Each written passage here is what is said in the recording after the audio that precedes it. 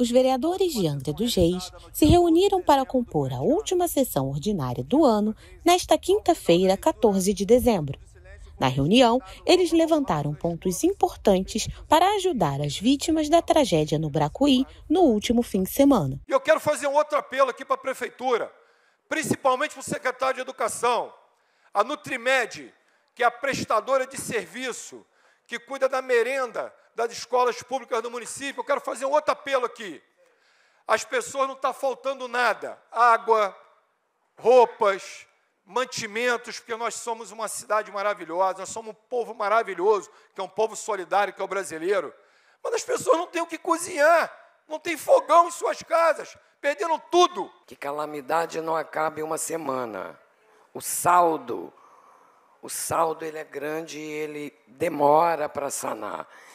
E a gente até entende o desespero das pessoas, porque não é fácil. Sob a presidência do vereador Rubinho Metalúrgico, os vereadores fizeram na tribuna um balanço das atividades em 2023. É um total de 389 indicação em prol de melhoria para os bairros do nosso município e trazendo mais dignidade para a nossa população.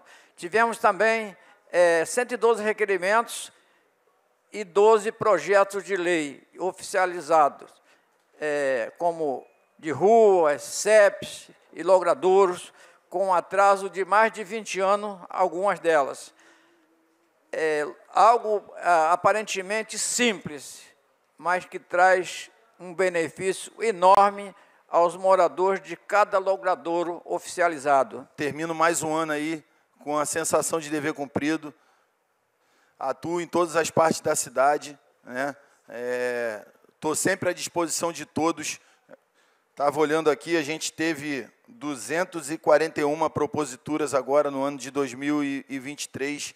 Graças a Deus aí a toda a nossa equipe que trabalha conosco, desde o pessoal que fica no gabinete, o pessoal da administração, todos os amigos, todos são responsáveis por isso, né? E a gente é, fala aí para a população que a gente vai entrar no ano de 2024, se Deus quiser, a 200%. Além de apresentar um panorama geral das matérias debatidas, eles deixaram uma mensagem de fim de ano à população angrense. Vamos enfrentar os desafios juntos, de mãos dadas.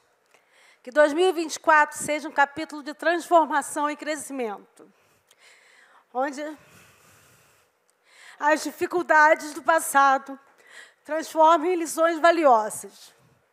Que a perseverança e a positividade guiem seus caminhos, permitindo que alcancem novas conquistas em 2024. Acreditem na nossa força, na nossa capacidade de a volta, dar a volta por cima. Feliz Natal, feliz Ano Novo, 2024 com muitas bênçãos para todos nós.